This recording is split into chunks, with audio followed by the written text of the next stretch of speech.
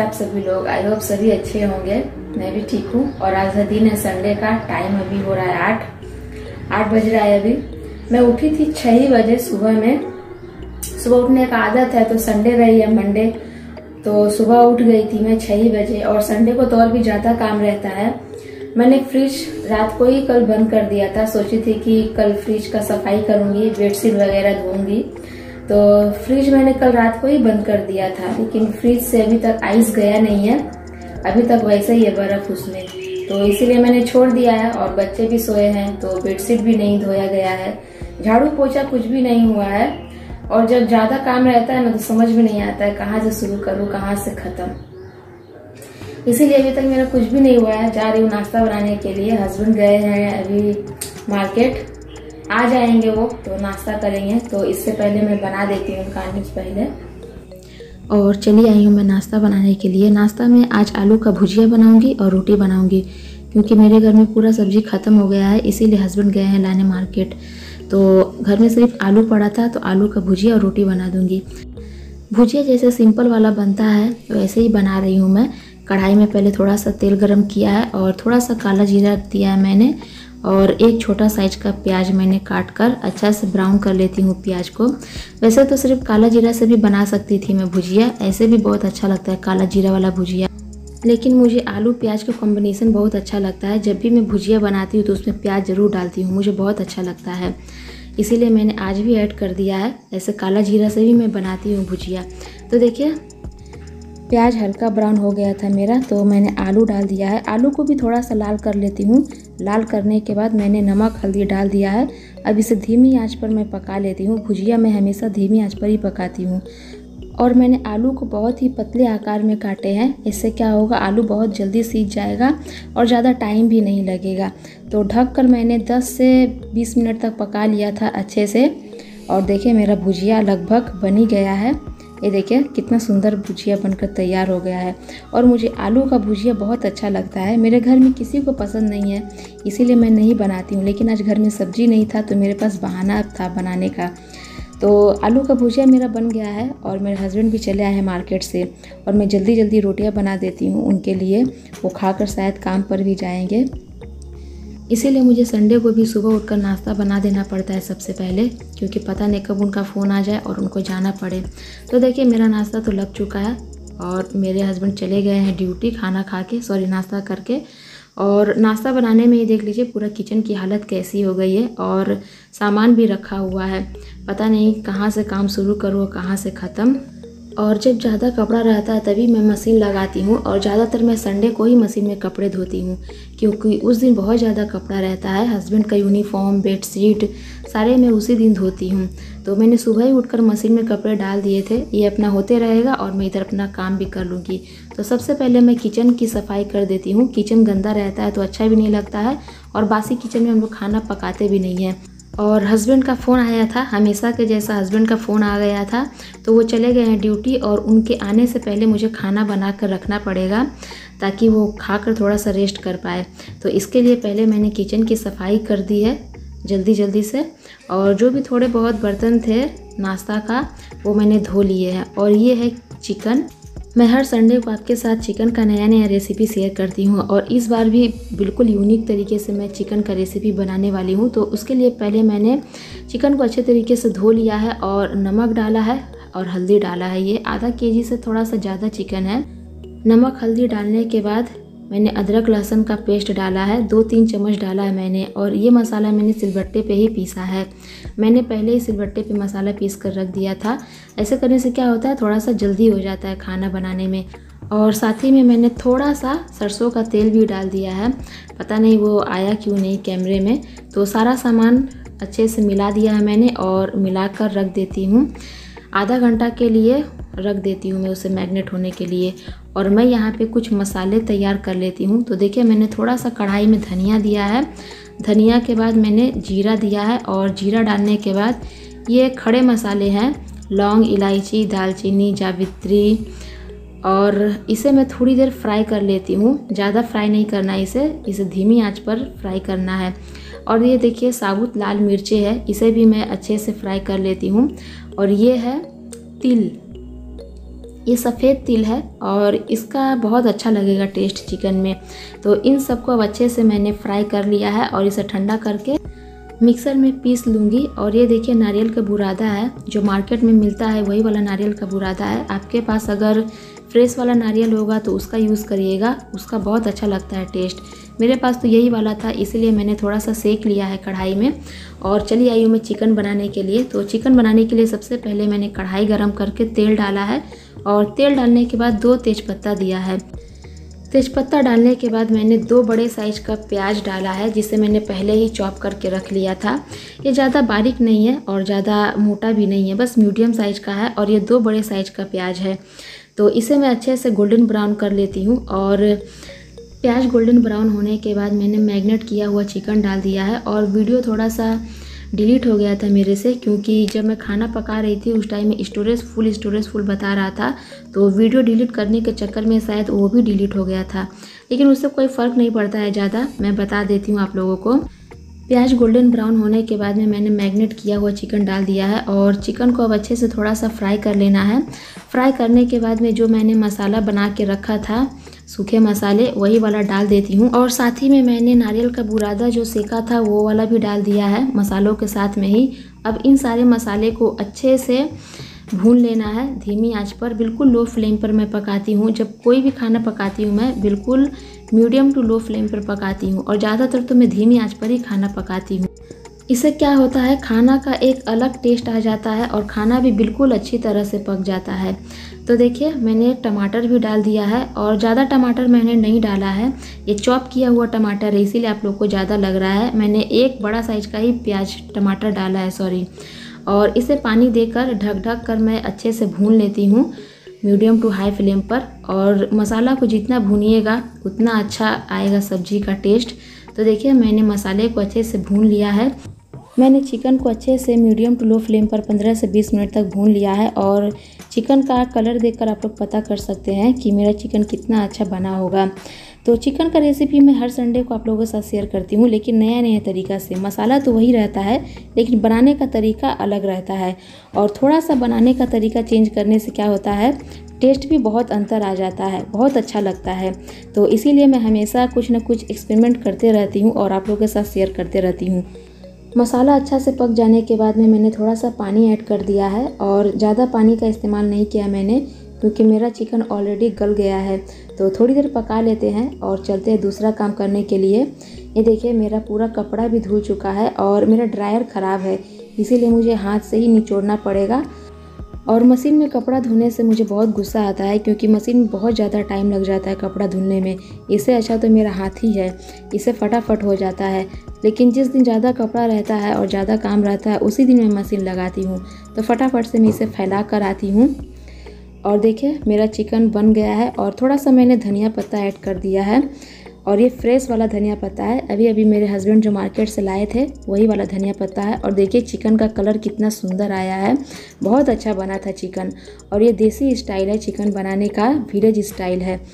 Village में लोग इसी तरीके से खाना पकाते हैं और सच मानिए, बहुत ही अच्छा लगता है ये देसी तरीका खाना बनाने का। तो चिकन तो मेरा बन गया है, मैंने छोड़ दिया है और अब थोड़े बहुत काम है जो करना ज़रूरी है। तो फटाफट से कर लेती हूँ। फ्रिज की क्लीनिंग भी अभी बाकी है। अगर फ्रिज साफ़ रखता तो ये जो सारा सब्ज़ी देख रहे हैं, मैं उसी में रखती। लेकिन अभी तो साफ़ है नहीं और सारा सब्ज़ी बैग में पड़े पड़े ख़राब हो जाएगा। आलू प्याज तो ख़राब नहीं होगा, लेकिन सब्ज़ियाँ ख़राब हो जाएँगी और साग भी है।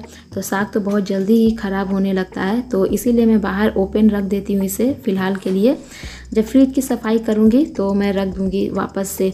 और देखिए, जगह हो नहीं रहा था, इसीलिए मैंने पेपर में साइड में रख दिया है। इतना सारा सब्ज़ी हम लोग एक सप्ताह का पहले ही ख़त्म कर देते हैं।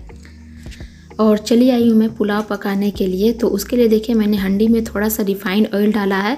और रिफ़ाइंड ऑयल गर्म होने के बाद मैंने लौंग डाला है और दालचीनी डाला है। और उसके बाद मैंने चॉप किया हुआ प्याज डाल दिया है। प्याज थोड़ा सा ज़्यादा मात्रा में डालना है और प्याज को बिल्कुल बारीक बारीक काटना है। इसीलिए मैंने चॉपर में चॉप कर लिया है। हाथों से इतना बारीक बारीक नहीं हो पाता है। और प्याज को बिल्कुल लाइट ब्राउन नहीं करना है, बस हल्का सा पका लेना है। इसीलिए मैंने मोबाइल का टॉर्च जला दिया है ताकि आप लोग को अच्छा से दिखे। तो देखिए, प्याज थोड़ी देर पकाने के बाद मैंने बारीक कटे हुए टमाटर डाल दिया है और टमाटर को भी बिल्कुल पतला पतला शेप में काटना है, बिल्कुल छोटे छोटे आकार में। इसीलिए मैंने इसे भी चॉपर में चॉप कर लिया है और प्याज थोड़ा सा पक जाने के बाद में मैंने अदरक लहसुन डाला है। अदरक लहसुन को अब अच्छे से पका लेना है। प्याज, अदरक, लहसुन, टमाटर को अच्छे से पका लेना है और इसमें इलायची मत डालिएगा प्लीज़। इसमें इलायची नहीं पड़ता है और साथ ही में मैंने डाल दिया है नमक, जो कि मैं हमेशा भूल जाती हूँ। इसीलिए मैंने डाल दिया है और इन सबको अच्छे से पका लेना है। जैसे मसाले को अच्छे से पकाते हैं, वैसे इसको भी अच्छे से पका लेना है। और ये एक्चुअली पुलाव नहीं है, ये तेलुगु बिरयानी है। आंध्रा के लोग बिरयानी इसी तरीके से पका के खाते हैं। मैंने आप लोगों के साथ में बिरयानी का रेसिपी पहले भी शेयर किया है, लेकिन वो कोलकाता स्टाइल का था वेस्ट बंगाल का। लेकिन यहाँ का बिरयानी, आंध्र प्रदेश का बिरयानी दूसरा टाइप का होता है, वही आज मैं आप लोगों के साथ शेयर कर रही हूँ। और यहाँ कोलकाता स्टाइल का बिरयानी नहीं मिलता है, यहाँ इसी तरीके से बिरयानी मिलती है। तो देखिए, मसाला अच्छा से पक जाने के बाद में मैंने चावल डाल दिए हैं। और ये नॉर्मल राइस है। बिरयानी चावल तो है नहीं फ़िलहाल मेरे पास में। इसीलिए मैं नॉर्मल राइस से बना रही हूँ। आप लोगों के पास अगर बिरयानी राइस हो तो उसी से बनाइएगा। तो मैंने ढाई गिलास चावल लिया है और चावल को अच्छे से मसालों के साथ में पका लेना है और हल्के हाथों से चावल को चलाना है। ज़्यादा ताकत का इस्तेमाल नहीं करना है, बस हल्के हाथों से चलाते हुए चावल को मसालों के साथ में अच्छे से मिक्स कर देना है। और चावल मेरा अच्छा से भून गया है तो मैंने ऊपर से डाल दिए थोड़े से। धनिया पत्ता और पुदीना पत्ता। और ये दो चीज़ इस बिरयानी में ज़रूर डाला जाता है। इससे क्या होता है, बिरयानी का टेस्ट बहुत अच्छा आता है और इसका फ्लेवर भी बहुत अच्छा लगता है। इसीलिए धनिया पत्ता और पुदीना पत्ता का यूज़ ज़रूर करिएगा आप लोग। सारी चीज़ों को अच्छे से मिलाने के बाद अब मैं इसमें पानी डाल देती हूँ और चावल मेरा ढाई गिलास था, इसीलिए पानी मैंने चार गिलास लिया है। और बासमती राइस रहता है तो और भी थोड़ा सा कम पानी लगता, आप लोग जो भी राइस लीजिएगा उसी के अकॉर्डिंग पानी डालिएगा। तो इसमें मेरा बहुत अच्छे से पक जाएगा बिरयानी और मैं हमेशा ही बनाते रहती हूँ। पानी डालने के बाद मैंने थोड़ी सी हरी मिर्ची भी डाल दिया है और इसमें लाल मिर्ची नहीं पड़ता है और लाल मिर्ची का पाउडर भी नहीं पड़ता है। इसमें हरी मिर्ची ही डाला जाता है। इसीलिए मैंने साबुत हरी मिर्ची डाल दिया है और ऊपर से जब मेरा चावल हाफ़ कुक हो गया था तो मैंने फ़ूड कलर डाल दिया है और मैंने दूध के साथ में फ़ूड कलर को नहीं घोला था, पानी के साथ घोला था।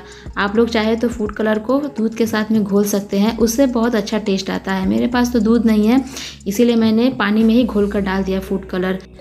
ढक के छोड़ देती हूँ थोड़ी देर के लिए। और देखिए, मेरा चावल बहुत ही अच्छी तरीके से गल गया है और अभी ये बहुत ही ज़्यादा गर्म है। आप लोग देख सकते हैं, इसमें से भाप निकल रहा है। अभी ये बहुत ज़्यादा गर्म है। मैंने अभी जस्ट इसका ढक्कन उतारा है। इसीलिए अभी बहुत ज़्यादा गर्म है। मैं इसे बाद में दिखाऊँगी आप लोग को। अभी ऊपर ऊपर से दिखा देती हूँ। मेरा चावल कितना गला है और कितना अच्छी तरीके से गला है। एक दाना खिला है। बिल्कुल भी चिपका नहीं है। और इसमें तेल का यूज़ थोड़ा सा ज़्यादा करना पड़ता है। अगर तेल ज़्यादा नहीं दीजिएगा तो क्या होगा? चावल नीचे से चिपक जाएगा और बिल्कुल भी अच्छा नहीं बनेगा। जला जला जैसा स्मेल आएगा। तो इसमें तेल का यूज़ ज़्यादा करना पड़ता है। तो मेरा खाना तो पक गया है। चिकन भी पक गया और पुलाव भी पक गया है। और चली आई हूँ मैं फ्रिज सफ़ाई करने के लिए क्योंकि काफ़ी टाइम हो रहा है और मेरे हस्बैंड अभी तक आए भी नहीं है ड्यूटी से। वो आएँगे तभी मैं खाऊँगी और बच्चे भी खाएँगे। तो इसीलिए मैं थोड़ा थोड़ा कुछ कुछ काम कर लेती हूँ क्योंकि काम का तो अभी बारात फैला है घर में।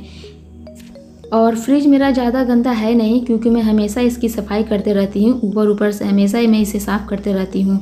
लेकिन काफ़ी दिन हो गया था, इसीलिए मैंने सोचा कि चलो आज फ्रिज का डीप क्लीनिंग करती हूँ, क्योंकि मैं इसमें हमेशा खाने पीने का ही सामान ज़्यादातर रखती हूँ। और मैं पानी नहीं रखती हूँ इसमें। हम लोग फ्रिज का पानी नहीं पीते, हम लोग घड़े का ही पानी पीते हैं। मैं ज़्यादातर फ्रिज में सब्जियों को रखती हूँ और जो सामान बाहर में ख़राब होता है, मैं वही फ्रिज में रखती हूँ। तो इसीलिए साफ़ सफ़ाई तो रखना ज़्यादा ज़रूरी है, क्योंकि खाने पीने का ही सामान रहता है फ्रिज में। और फ्रिज को मैं हमेशा साफ़ कपड़े से पोसती हूँ। एक ऐसा कपड़ा लेती हूँ, जिसका यूज़ मैंने पहले कभी भी नहीं किया है, उसी कपड़े से मैं फ्रिज को पोसती हूँ। क्योंकि फ्रिज सफ़ेद रहता है और इसमें थोड़ा सा भी गंदा रहता है तो दिखता है, जो कि बिल्कुल भी अच्छा नहीं लगता है। तो देखिए, फ्रिज की सफ़ाई हो गई है अच्छे तरीके से और फ्रिज मेरा देखिए चमक उठा है। बहुत ही अच्छा लगता है। सफ़ेद चीज़ बहुत जल्दी गंदा होता है, लेकिन सफ़ाई करने के बाद बहुत अच्छा लगता है। और वैसे भी मुझे साफ़ सफ़ाई थोड़ा सा ज़्यादा ही पसंद है। मुझे साफ़ सफ़ाई बहुत अच्छा लगता है करना। तो देखिए, मैंने फ्रिज सफ़ाई करने के बाद में अपने सारे सामान को अरेंज कर दिया है। और जो भी अभी मेरे हस्बैंड लाए थे मार्केट से वो सारे सामान भी अरेंज करके रख देती हूँ और सब्जियों को मैं हमेशा फ्रिज में ही रखती हूँ और उन्हीं चीज़ को फ्रिज में रखती हूँ जो कि बाहर ख़राब हो रहे हैं। तो देखिए, मैंने सारा अरेंज कर दिया है और अरेंज करने के बाद में फ्रिज देखिए कितना सुंदर लग रहा है। तो चलिए, बंद करके चलती हूँ मैं अब खाना खाने के लिए क्योंकि टाइम हो रहा है बहुत ज़्यादा और मेरे हस्बैंड भी आ चुके हैं और ये रहा तेलुगु स्टाइल बिरयानी, आंध्रा का बिरयानी। और चावल देखिए कितना खिला खिला बना है एक एक दाना खिला हुआ है, बिल्कुल भी चिपका नहीं है। और मैं हमेशा ही बनाते रहती हूँ, मुझे तो आदत हो गई बनाते बनाते। तो तेलुगु स्टाइल का बिरयानी, यहाँ का बिरयानी ऐसे ही रहता है। चावल अलग रहता है और चिकन अलग रहता है, दोनों सेपरेट सेपरेट रहता है। कोलकाता स्टाइल ऐसा नहीं होता है। चिकन, चावल एक ही साथ में मिक्स रहता है, लेकिन आंध्रा का बिरयानी इसी तरीके से रहता है।